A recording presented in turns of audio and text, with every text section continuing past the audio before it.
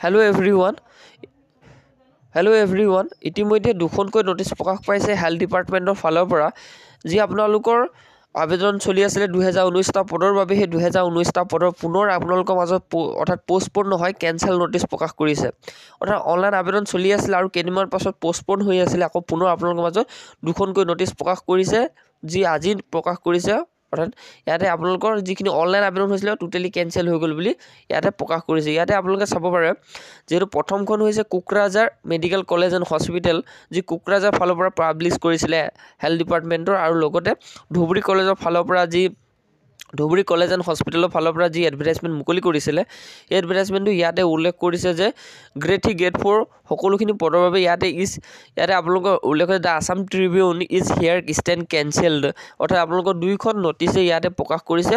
অৰ্থাৎ হেল্থ ডিপাৰ্টমেণ্টৰ এতিয়া আবেদন চলিত আবেদন হৈ থকাখিনি পুনৰ কেঞ্চেল হৈ গ'ল আৰু পুনৰ আবেদন হ'ব হ'বনে নহয় ইমান সম্ভৱ নহয় হয় কি নহয়।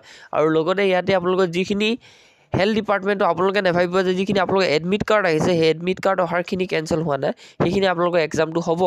গতিকে যিখিনি এতিয়া গ্ৰেড ফ'ৰ এক্সাম হ'বলৈ গৈ আছে হেল্থ ডিপাৰ্টমেণ্টৰ সেইখিনি এক্সামটো হ'ব। সেইখিনিৰ এইখিনি নটিচ নহয়। এইখিনি হৈছে দুহেজাৰ ঊনৈছটা পদৰ বাবে আৰু সেইখিনি বেলেগ হয়।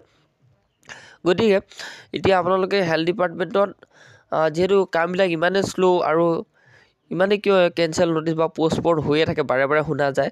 আৰু এনেধৰণে যদি কেঞ্চেল হ'ব লগা হৈ থাকে ল'ৰা ছোৱালীসকলে আবেদন কৰি কেতিয়া এক্সাম দিব কেতিয়া পৰীক্ষাৰ ৰিজাল্ট দিব এনেকুৱা ধৰণৰ প্ৰব্লেম হয়। কিন্তু এনে বিষয়টো লৈ পিনে বহুতৰে চিন্তাও হয় যে আবেদন কৰিবলৈ। কিন্তু কি ক'ব এতিয়া ডিপাৰ্টমেণ্টৰ কথা হয় আৰু এইখিনি বিষয়লৈ আমিতো ৱেইট কৰিবই লাগিব। পুনৰ এক্সাম আপোনালোকৰ মাজত যিখিনি হ'ব লগা সেইখিনিয়ে দিব আৰু এইখিনি এতিয়া কেঞ্চেল প্ৰকাশ কৰিলে।